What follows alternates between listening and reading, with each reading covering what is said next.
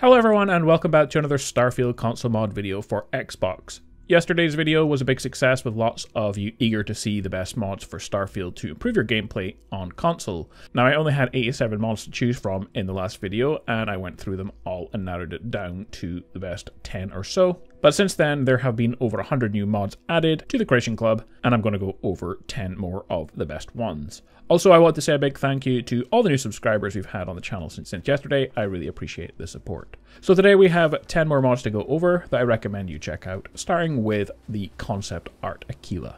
This is a simple mod that turns Akila into something resembling closer to the game's concept art. Basically, the ground is covered a lot more in snow, and it just looks a lot more interesting.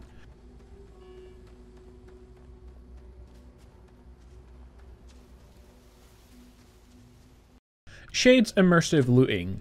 This strips any equipped armor or clothing from your fallen foes, or you can simply loot all with one button. Steal items from knocked out targets instead of pickpocketing and waking them up. All features are optional and can be configured in the settings slate from the player's inventory. It also adds an additional button prompt when looting dead NPCs to strip their equipped items for the taking, and adds an additional button prompt when looting dead NPCs to loot all items in one button press. It also adds to dead, stripped NPCs the harsh environmental conditions, which you can see the visual effects after 5 seconds. You can see in this clip there is a cold effect on the NPC. After 5 minutes, they will show signs of long term decay, and in this case, they have red blotches on them. But it will differ depending on the environmental hazard you are currently in. A simple but very much more immersive mod for looting in the game.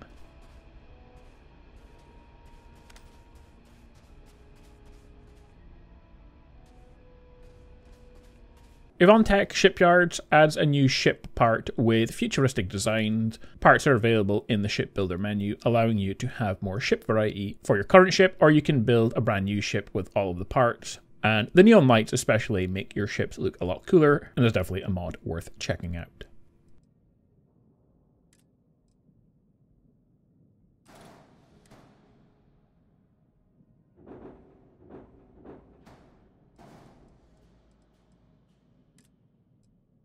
If that's not your thing, then you can add in a brand new ship to the game called the Avenger ship.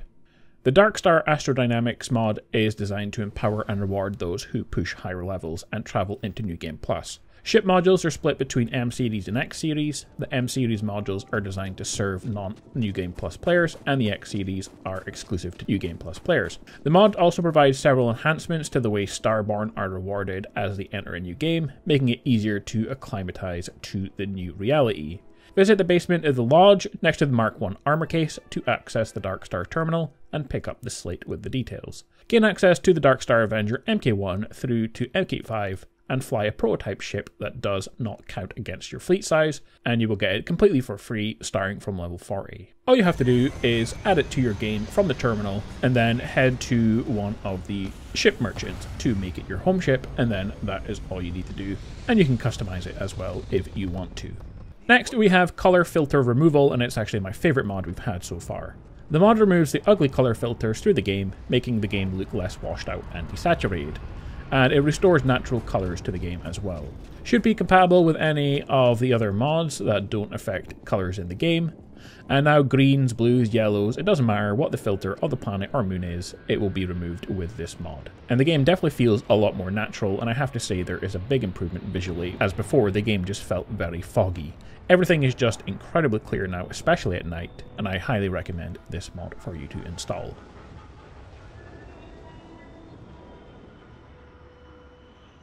For the paid mod in this video, I like the Enforcer Tactical Pistol. A sleek, customizable, and deceptively powerful ballistic handgun based on the old Earth design from the late 20th century, and it has been made available to people in the settled systems thanks to the Terra Tactical and their distributors. Features the Enforcer, a new ballistic pistol that uses .45 ammo, multiple customized options from muzzles and sights to calibrate conversions and cosmetic changes.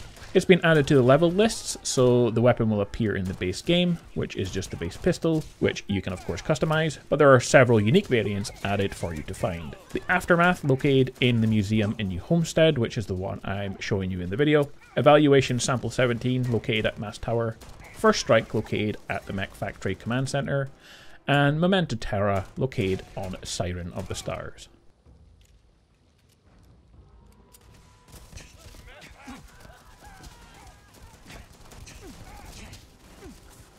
Boba Fett and Mandalorian armors. These two mods add the Mandalorian armor and jetpack from Star Wars, and it comes in two different versions. Din Djarin's first suit of armor from the series, and his Berserker armor that he wears through the rest of the series as well. Both can be changed out at the spacesuit workbench, and to go with this, I've also added in the Book of Boba Fett armor as well, as they're both from the same creator, and you get them the same way. So where do you find them? Both armors can be found in the layer of the Mantis next to the Mantis armor. It shares the exact same legendary effects and stats as the Mantis armor, so you can play mostly vanilla through with this armor set. The capes can be crafted at an industrial workbench if you want to add those, and I should also mention that this doesn't replace the Mantis armor, it's just a brand new armor on its own. Both look really cool, and you can't really go wrong with some Star Wars armors, especially now that they've added bounty hunting into Starfield. Cydonia Executive Suite. When Deimos was a newer shipbuilder, they had a suite for their VIPs underneath their offices, but now it is disused and empty, so has been put up for sale using a kiosk outside of the door. This mod adds a player home to Cydonia, underneath the Deimos offices, and since Cydonia is part of the United Colonies, you must be a citizen in order to purchase it, and it also costs 100,000 credits. It has a main living area with kitchen, balcony to overlook the mines, a bedroom, a weapon vault, and a bathroom, along with a closet. The living room and bedroom have light switches and you can open the windows, and underneath there is a escape hatch for the home's residents to make a quick getaway.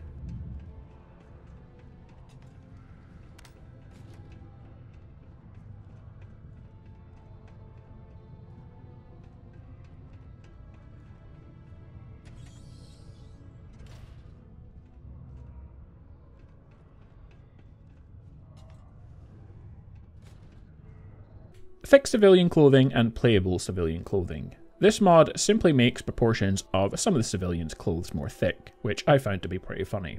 But to go with this mod, I also installed playable civilian clothing to make all civilian clothes equipable for you and your followers. So head to the industrial workbench and you can craft any of the civilian clothes in game and equipment to your character.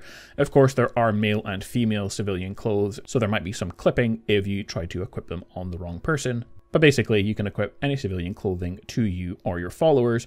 And as far as the thick civilian clothing goes, I'm pretty sure it only works on the female followers or civilians. So keep that in mind. But it just adds a bit more variability to your gameplay with these two mods. Lastly, we have a cool new settlement mod called Build a Farm. Build your own farm with 17 new buildings, desert house, desert tent, three plants, including rosemary, root, and sage, fences, palm trees, wood piles, brick piles, and other decorations. You can wall it in, plant your own gardens, and it's perfect for anyone who wants to make a relaxing place to live.